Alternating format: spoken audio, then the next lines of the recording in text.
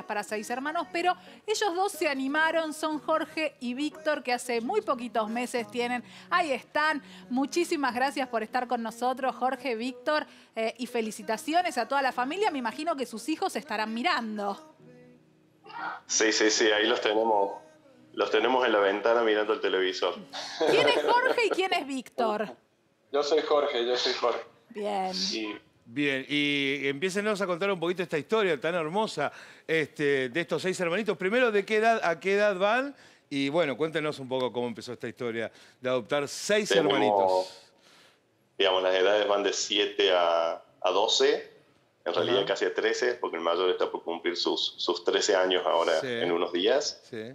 Eh, tenemos de 12, 11, 10, 9 y 7, así que la escalerita, completa Sí, entre los seis.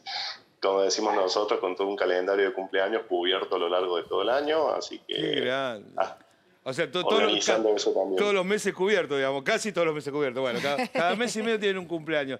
Pero ¿cómo es que llegan a, esta, a esta adopción? ¿Cómo pasaron de ser dos a ser ocho? Miren, me emociona escuchar de pensarlo. gracias, gracias, Claudio. Eh, nosotros arrancamos, vimos una, nota sobre la que llamaban la convocatoria nacional para seis hermanitos en junio. Eh, ahí no hicimos nada, vimos simplemente la nota, pero nos quedó, nos quedó volando en la cabeza eh, esto de, los seis hermanitos que pedían estar juntos. En agosto, el RUA, que es el, el, que es el registro único de adopción, la vuelve a publicar a la convocatoria nacional y ahí, bueno, mandamos un mail eh, consultando al juzgado de Salta. El juzgado de Salta nos responde a, a, las dos semanas aproximadamente y nos pregunta si queríamos hacer una entrevista de despeje para, para ver si éramos aptos, si podíamos ser candidatos a, a, a, la adopción de los chicos. Le dijimos que sí, el 10 de septiembre hicimos la, la entrevista de despeje eh, a la cual accedimos solamente nosotros y otro matrimonio más. Eh, la jueza vio esa entrevista de despeje y dijo son ellos. Así que ahí nomás nos llamaron a la semana, nos habían dicho que nos llamaban en octubre y a la semana nos llamaron nos dijeron si podíamos. Hago un parate ahí, hago un parate ahí. Contame ese llamado. Contame quién atendió, porque me imagino la emoción, ¿no? Eh, sí, yo, yo atendí, yo atendí las dos veces, me llamaron a mí. Eh, la, primera, la, la primera para la entrevista de despeje estábamos en Buenos Aires, en Aeroparque, así que nos queda muy clarito, nos quedó grabado ese momento. Y bueno, después del 10 de, de la entrevista del 10 de septiembre, eh, también me volvieron a llamar y nos preguntaron si estábamos dispuestos a viajar a Salta y le dijimos que sí. Y bueno, tengo una, tengo una curiosidad, a ver, eh, fue, esto, esto es muy pronto, me imagino que deben estar todavía adaptándose, deben estar todos conociéndose. Los hermanitos son salteños, ustedes son cordobeses, ¿verdad? Sí, exacto. Y dijiste que a la entrevista de despeje, que imagino que solo se presentaron dos matrimonios, dijiste en algún momento, imagino que hay una publicación de adoptar a seis hermanitos y ustedes que ya venían, supongo, en algún proceso de, de adopción previo, de intención de adopción, decidieron, bueno, vamos por los seis, bueno, vamos por los seis. ¿El otro matrimonio era una pareja heterosexual?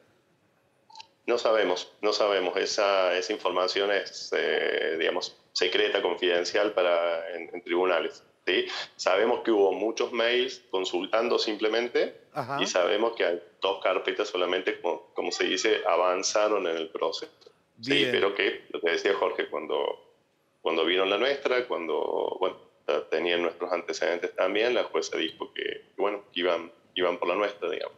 E, espectacular. Y ahora sigan para adelante. Bueno, lo llamaron. Lo, llamaron y no te daban las manos para sacar los pasajes, me imagino. Exacto. Sí, sí, sí sacamos los pasajes con miedo, con todo, de ahí nos, nos volvimos a plantear si, lo hacíamos o no, y lo claro. y bueno, Los chicos, además de pedir estar juntos, ¿pedían algo más? No, ellos no, no solamente pedían estar juntos y una familia que los quiera era, era lo, primero que pedían. ¿Estuvieron mucho tiempo? ¿Hay una eh, presentación directamente personal o primero la jueza habla con los chicos, con los juntas los seis?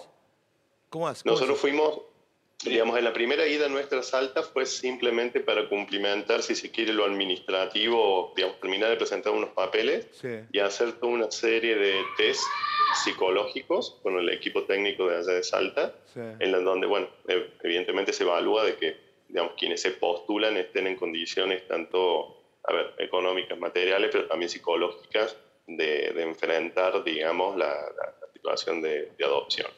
Nosotros de, de esa primera instancia nos volvimos sin conocer a los chicos, eh, con esa especie de vacío en el estómago de, de no saber cómo iba a continuar todo, porque suponíamos que todavía ya había, había andado bien, no nos habían dado ninguna mala, mala noticia, por decirlo así.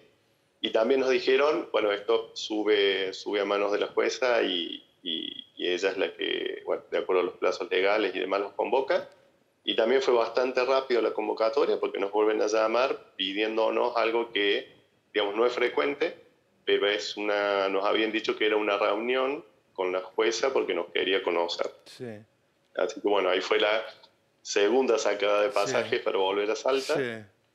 y en realidad eh, lo que era una reunión con la jueza terminó siendo una, una audiencia ¿sí? formal en la que sí, obviamente eh, la jueza nos presentó bien digamos, toda la situación, el- nos, aclaró mucho Claro, la de lo que era el historia. encuadre. Exacto, Exacto, exacto, exacto. Y el Y momento en da, el que ahí en esa conocieron, audiencia nos da la guarda de vinculación. Así sin que conocer a los chicos todavía. Ahí sin conocer a los chicos. Ellos tampoco nos conocían a nosotros, pero bueno, como todos los, los test psicológicos y todo el resto había Andaba dado... bien. eh, ¿Cómo ok, fue el ok, momento cuando los conocen, no? Bueno, ahora en estos, en estos días hablábamos con los chicos, que los chicos dicen todo lo que habían preparado para el momento de, de conocernos y bueno, eh, el- el- cuando llegamos a la, a la casa donde ellos estaban viviendo, eh, fue entrar y vernos y bueno, empezamos, ellos me joden a mí que yo decía hola, hola, hola y bueno, eh, yo les decía eres porque son seis. Claro, interminable. Entonces, bueno, pero antes en la audiencia, para darnos la guarda de, de vinculación, ellos nos habían hecho llegar unos, unos dibujos, unos regalos que lo habían mandado con su abogada patrocinante. Y bueno, ahí nos emocionamos, nos largamos a llorar en los dibujos nos decían que ya nos querían conocer, que nos habían dibujado porque ellos lo único que sabían de nosotros era que uno era pelado y el otro Ay. tenía pelo, entonces nos Escuchame. habían hecho los dibujos a los dos. Es y, una bueno, hermosa y- historia. ¿Y en qué